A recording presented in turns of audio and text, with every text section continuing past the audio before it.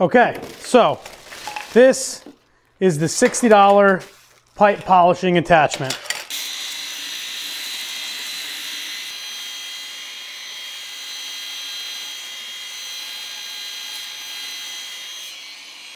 Now, these are available on eBay and Amazon, and the big critical key component that you want to look for if you're going to buy one of these is right here. This is the drive wheel. Now, this one is 5 8 11, which is what's going to thread onto the arbor of your angle grinder if you're in the US like I am. If you're in Europe, maybe you have a metric threaded angle grinder, so you should probably buy a threaded drive wheel that fits your grinder.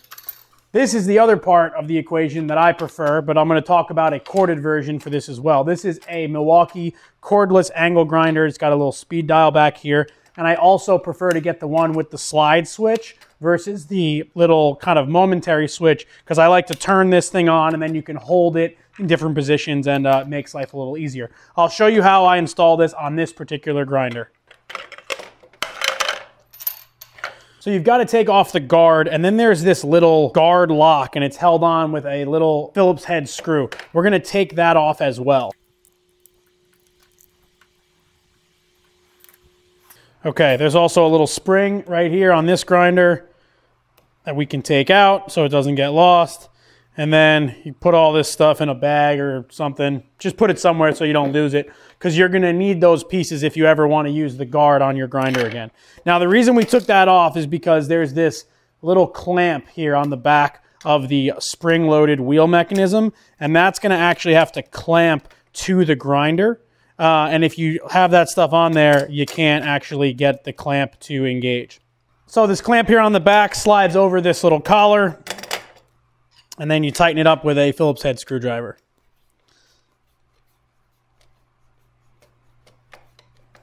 Now this has to be tight, so make sure that you spend the time to get this thing really solid on there because if it's loose, it's just going to pop off the grinder.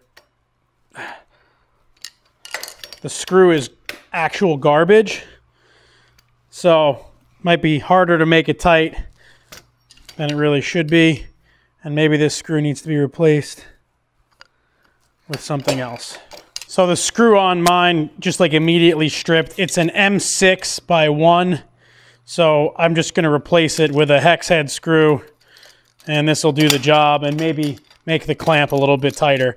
Now your results may vary. The other one of these that I have, the screw wasn't so crappy and it worked out really well. So anyway, we're going to stick that back on there and continue our installation just with a better piece of hardware. Again, this has to be tight because you don't really want it moving around once you start. All right. It's way better, nice and solid. So now that you've got the bracket on, if you go to thread your drive wheel on, what you're gonna find is that as you go to tighten it, the kind of screws on the back are gonna hit the frame. So the way that I resolved that the last time I set one of these up was I had this three quarter inch lock washer and that was actually like the perfect offset and also gave a little positive resistance to keep this thing from bottoming out, but also kept my spacing nice. So I'm just gonna hand tighten this and it's out of the way. It'll still rotate and then we have our alignment. So the rest of the setup of this is literally just putting on this handle and then taking some belts out of the bag. It comes with belts and the belt size on this is one and a half by 30, but you can also get away with using one by 30 belts if you want to um, use a very specific belt that you would maybe use for like a little belt grinder. So here's a one and a half by 30. This belt is an aluminum oxide 120 and you put it on simply by compressing the arms. Make sure it's on the drive hub. Let's get a battery and this thing is ready to go. All right, so again, this is a variable speed angle grinder. We're gonna set it down to one, the slowest setting, which on this grinder is 3,500 RPM, and you can see how it works.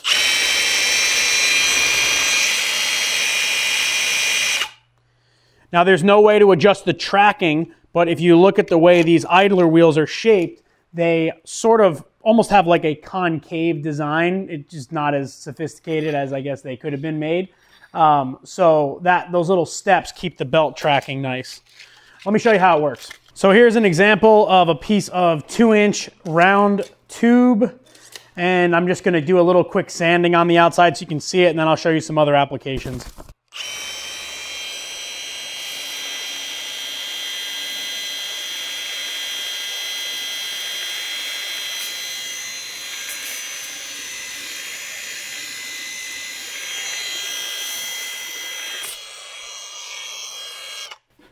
So you can see what happens if you give it too much pressure and you slip off the side. This thing is under constant belt tension, so you have to be a little bit careful how hard you press. But if you're careful with it, you can really get great smooth results.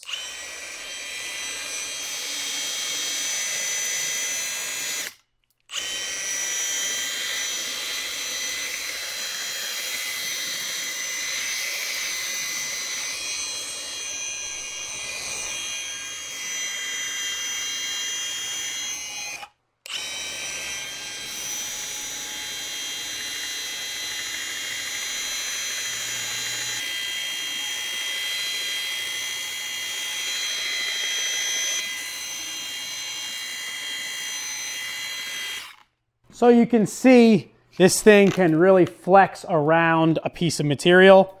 Uh, again, I like to use the grinders that have a locking switch because I want to have one hand on the grinder body and one hand on the handle. And just like that, this thing will really grab around. I can already see my little uh, thing is getting a little loose on my grinder. So I just got to go and tighten it up again because it's moving around. So here's a smaller piece of steel. And uh, you can see it'll also curve around a smaller piece.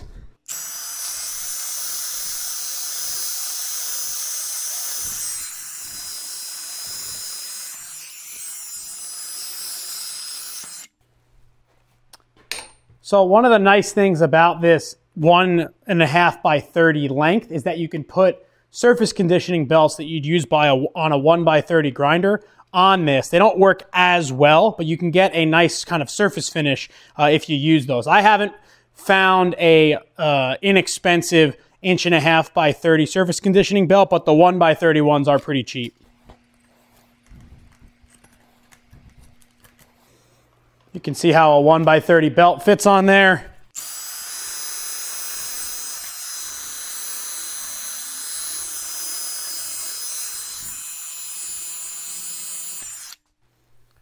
Super smooth with this little surface conditioning belt and just so, so fast. Very, very consistent and uh, just a great, a great, relatively inexpensive tool.